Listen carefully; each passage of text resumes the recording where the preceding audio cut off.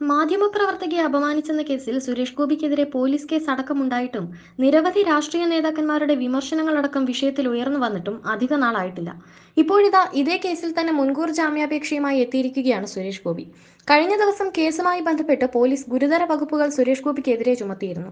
മാധ്യമപ്രവർത്തകയുടെ ശരീരത്തിൽ മനഃപൂർവം സ്പർശിക്കുകയായിരുന്നുവെന്നാണ് പോലീസിന്റെ കണ്ടെത്തൽ. നേരത്തെ ചുമത്തിയ ഐ പി സി മുന്നൂറ്റി അൻപത്തിനാല് എ ഒന്ന് നാല് വകുപ്പുകൾക്ക് പുറമെ മുന്നൂറ്റി അൻപത്തിനാലും നൂറ്റി പത്തൊൻപത് എ വകുപ്പും ചുമത്തിയാണ് കേസ്. കുറ്റപത്രവും ഉടൻ സമർപ്പിക്കും. ഒക്ടോബർ ഇരുപത്തിയേഴിനാണ് കേസിന് ആസ്പദമായ സംഭവം. കോഴിക്കോട് തളിയിൽ മാധ്യമങ്ങളോട് സംസാരിക്കവേ ചോദ്യം ചോദിച്ച മാധ്യമപ്രവർത്തകയുടെ തോളിൽ സുരേഷ് ഗോപി അനുവാദമില്ലാതെ കൈവയ്ക്കുകയായിരുന്നു. മാധ്യമപ്രവർത്തക അപ്പോൾ തന്നെ കൈ തട്ടിമാറ്റിയെങ്കിലും വീണ്ടും മാധ്യമപ്രവർത്തകയുടെ തോളിൽ സുരേഷ് ഗോപി കൈവച്ചുവെന്നാണ് ഉയരുന്ന ആരോപണം. പോലീസിലും വനിതാ കമ്മീഷനിലും മാധ്യമപ്രവർത്തക പരാതിയും നൽകി.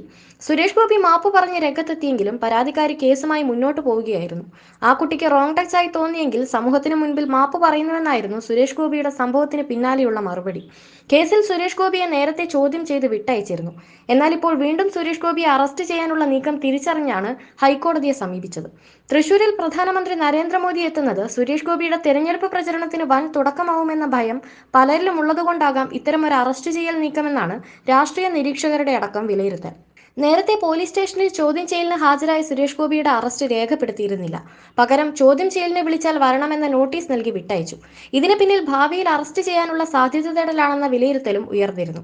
കുറ്റപത്രത്തിൽ ഐ പി സി മുന്നൂറ്റി അൻപത്തി നാലാം വകുപ്പ് കൂടി ഉൾപ്പെടുത്തുമെന്ന സൂചനകൾ പുറത്തു വന്ന പശ്ചാത്തലത്തിലാണ് സുരേഷ് ഗോപി കോടതിയെ സമീപിച്ചത്. തന്നെ ചോദ്യം ചെയ്യാൻ വിളിക്കുമ്പോൾ ഈ വകുപ്പ് ഉൾപ്പെടുത്തിയിരുന്നില്ലെന്നും ഹർജിയിൽ പറയുന്നു.